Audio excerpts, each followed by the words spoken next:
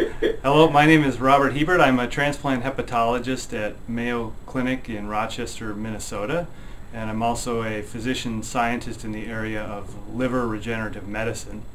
Uh, I'm here today with my friend and colleague Jorge Rakela, who is a, a hepatologist at Mayo Clinic, Arizona, and a leader in the field of liver regenerative medicine. Uh, we're here today to talk about a new article that we've written that is to be published soon in Mayo Clinic Proceedings. Uh, the title of the article is Cellular Therapy for Liver Disease, and that will be published as part of a series of articles that uh, comprise the Symposium on Regenerative Medicine. Uh, in its in- inception, this was a review article, but over time I think it's really become uh, quite a bit more than that, and really we uh, envision it now as more of a roadmap. So it will tell us um, where the basic science in liver regenerative medicine has progressed to, uh, what clinical applications have been tested thus far, uh, and hopefully provide a vision for the future as to what, uh, what the opportunities and what the challenges will be. So uh, the liver is a remarkable organ. It's, it's really the most naturally regenerative organ in the body. Uh, a human being can tolerate 70% resection of the liver, uh, and some animals can tolerate up to 90% resection of the liver, and it will grow back and regenerate on its own to precisely the correct volume and then stop regenerating.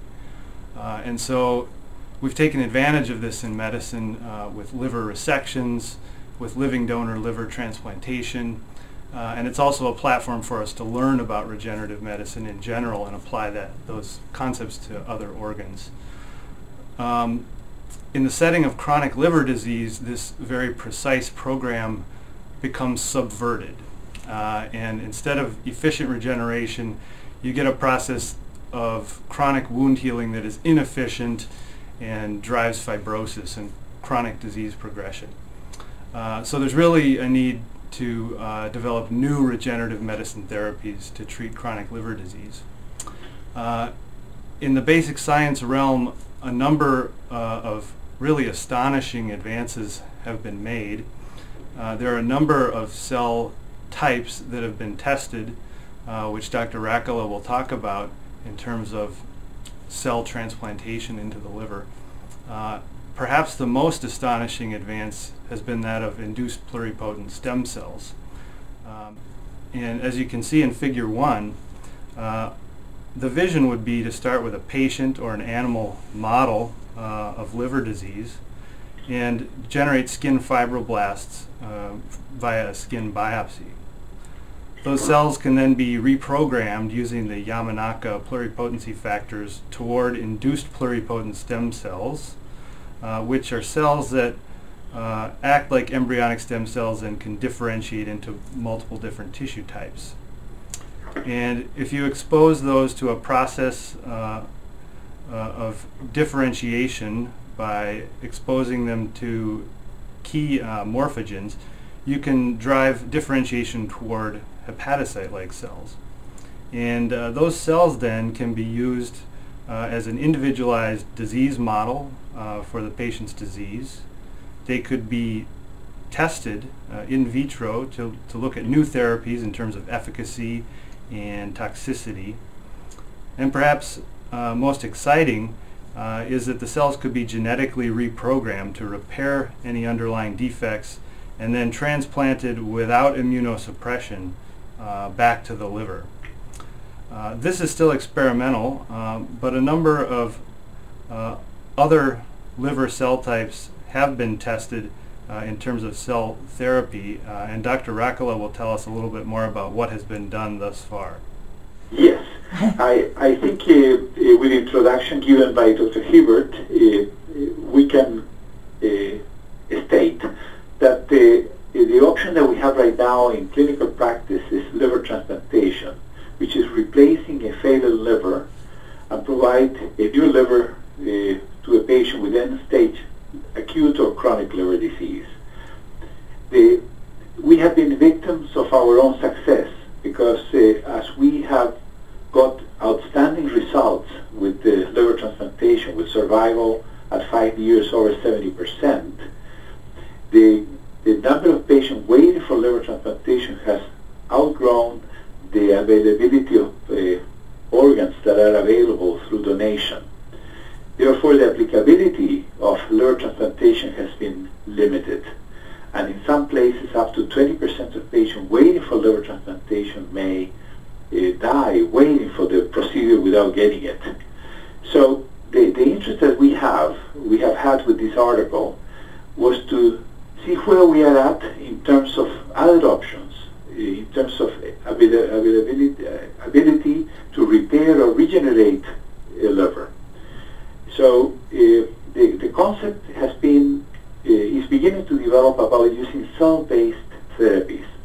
So one of the first attempts have been used to use the primary hepatocytes that are harvested from livers that are not being are not going to be used in liver transplantation, uh, orthotopic liver transplantation.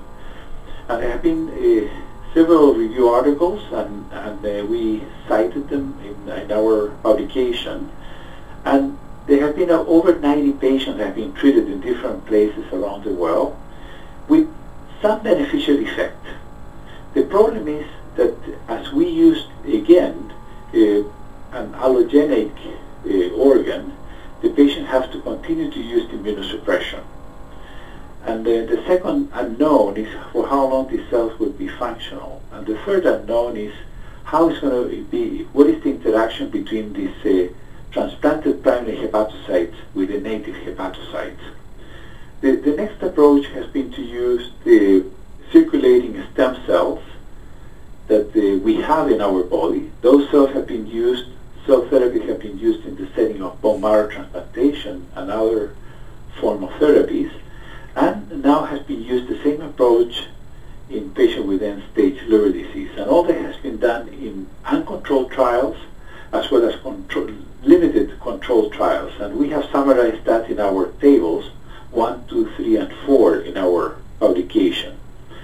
So the, the initial trial was with the so-called mesenchymal stem cells, and, and that uh, was, we summarized there a total of uh, six trials. Uh, two of them were initially uncontrolled trials showing beneficial effect, and the other four are randomized controlled trials. Three of them showed beneficial effect, and the most recent trial uh, did not show uh, differences between the the group of patients that received mesenchymal stem cells versus the one that received placebo. Another approach has been to use autologous bone marrow-derived stem cells, and, and there there has been a total of 10 trials. Six of them so-called unsorted bone marrow-derived mononuclear cells, three uncontrolled and three controls. In the control trials, two of them showed beneficial effect. One trial did not show beneficial effect. Eh, the other four were uncontrolled trials using sorted hematopoietic stem cells, specifically CD34 positive, and these uncontrolled trials showed beneficial effects in those patients receiving this treatment modality. More recently, another approach has been to stimulate the production of these adult stem cells uh, using uh, growth factors like GCSF, glucoside uh, sorry, granulocyte uh, colony stimulating factor. A more recent publication uh, coming from India, uh, they treated a total of 47 patients uh, with a placebo-controlled group, and they showed improvement on the MELD score, which is a, an, a score that indicates how advanced the liver disease is, and also better patient survival. Uh, again, as we looked to uh, analyzed all these different approaches with the adult stem cells and, uh, also growth factors, what came very evident to us is that uh, there are there is many approaches in terms of what type of cells to use, the concentration of cells, how to administer the cells. Therefore, the comparison, one trial to the other, is very difficult. So we we think, and that that's what Dr. Huebert has mentioned about uh, uh, what is for us in the future, and showing uh, what we how we can approach these uh, these therapies uh, in the near future. One one obvious approach is to standardize these cell preparations, the number of cells, uh, and and provide to patients and be able to compare uh, with the control group receiving a placebo control group, if there is a, what is the efficacious, the efficacy of this approach in the treatment of patients with end-stage liver disease. Now, in figure two, we have summarized what is coming for the future. So an exciting possibility, which has been outlined by Dr. Huebert, is that from skin fibroblasts from the patient, we can generate induced pluripotent stem cells, and then with various transcription factors, we can reprogram these cells and produce hepatocyte-like cells. And, and, then that opens the possibility to use primary hepatocytes, but now derived from the patient, him or herself, and be administered to a patient with end-stage liver disease. And that would be uh, very exciting as a possibility because this patient probably will not need to use the immunosuppression. Therefore, that is clearly a, a, pathway that is opening for the future for patients with end-stage liver disease. So, thank you. Thank you for watching the video. I hope you read the article as well, and we look forward to your feedback uh, or questions about the article. It should provide you with some sense of where the science has progressed to, uh, what clinical applications have been tested, and potentially what the future holds as well. We hope you found this presentation from the content of Mayo Clinic Proceedings valuable. Our journal's mission is to promote the best interests of patients by advancing the knowledge and professionalism of the physician community. If you are interested in more information about us, our homepage is www.mayoclinicproceedings.org. There you will find access information for our social media content, such as additional videos on our YouTube channel or journal updates on Facebook. You can also follow us on Twitter. More information about healthcare at Mayo Clinic is available at www.mayoclinic.com. This video content is copyrighted by Mayo Foundation for Medical Education and Research.